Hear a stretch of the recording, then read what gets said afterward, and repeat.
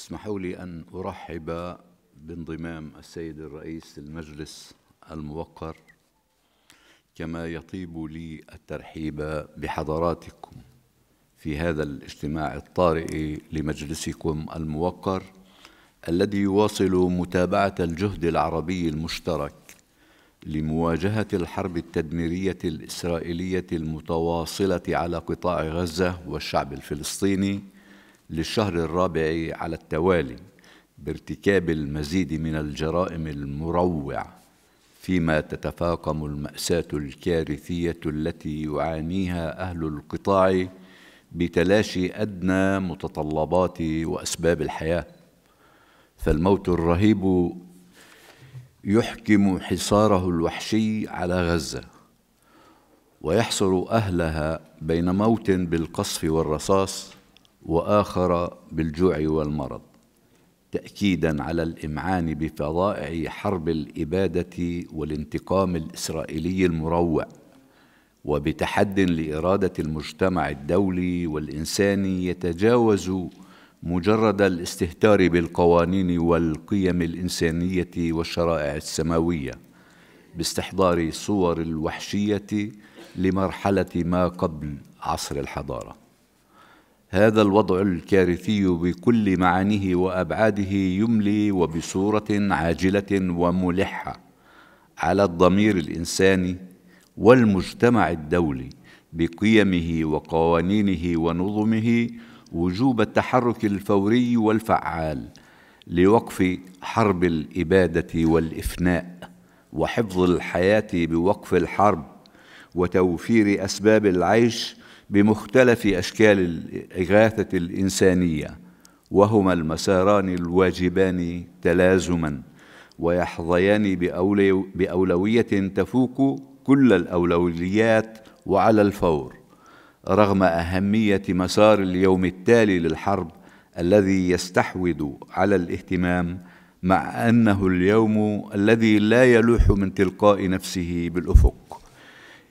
إن أولوية اليوم قبل الغد أولوية الآن هي مضاعفة الجهود واتخاذ كل التدابير اللازمة لوقف هذه الجريمة المتمادية وإنقاذ ما تبقى ما يجعل من التقاعس عن وقف فوري لهذه الحرب التدميرية أو عرقلة جهود وقفها تماه مباشر معها. ودعم بل اشتراك باقتراف جرائمها وأهوالها خاصة وأن حرب الإبادة المتواصلة لم تسقط من أهدافها ومحاولاتها المستمرة ارتكاب جريمة التهجير القسري باستمرار الدفع المنهجي لسكان غزة من الشمال إلى أقصى الجنوب وفرض النقل الجماعي الذي أصبح واقعا تهجيريا قسريا وإن كان داخل القطاع يفاقم من المأساة ويعيد استحضار صور النكبة لعام 1948 وفيما يتعلق بمسار الإغاثة فقد بات أيضا يشكل تحديا بالغ الخطورة أمام استمرار عرقلة وصولها وتعمق انهيار مقومات الحياة والبقاء. الحيوية لأهل غزة بكل تفاصيل وأسباب الحياة بل بأبسط وأقل حدودها في ظل انعدام توفير الحدود الدنيا من الكفاية كما أو نوعا أو استدامه ما جعل من ضرورة تدفق الغوث الإنساني ضرورة بغاية الإلحاح والاستعجال وقد بات شبح الموت جوعا وبردا. يرسل للعالم مؤشرات ظلاله المحدقة بأحياء غزة المدمرة.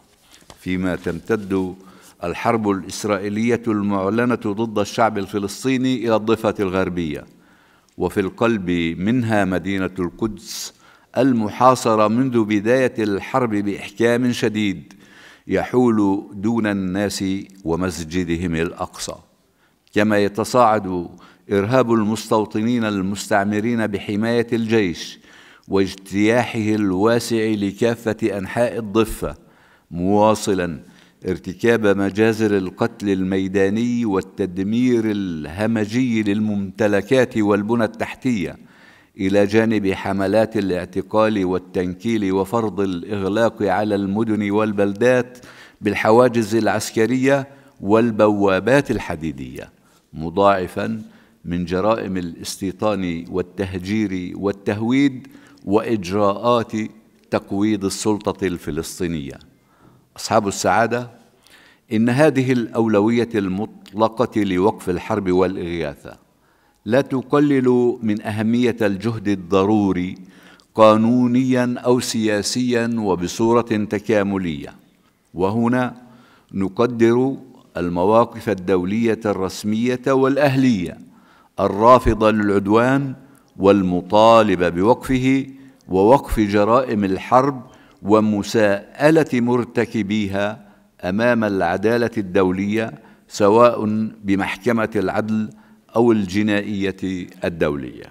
ونؤكد على أهمية تضافر وتكثيف الجهود والمبادرات في هذا السياق القانوني بدعم عربي واسع رسمي وأهلي لتحقيق العدالة الدولية مع التأكيد على أهمية فتح أفق سياسي جدي وحقيقي يعالج الأسباب الجذرية للصراع بإنهاء الاحتلال الإسرائيلي وتجسيد الدولة الفلسطينية المستقلة وعاصمتها القدس الشرقية. مدخلا وحيدا لتحقيق السلام والاستقرار الذي ننشده. السلام الذي لن يتحقق دون إنصاف الشعب الفلسطيني.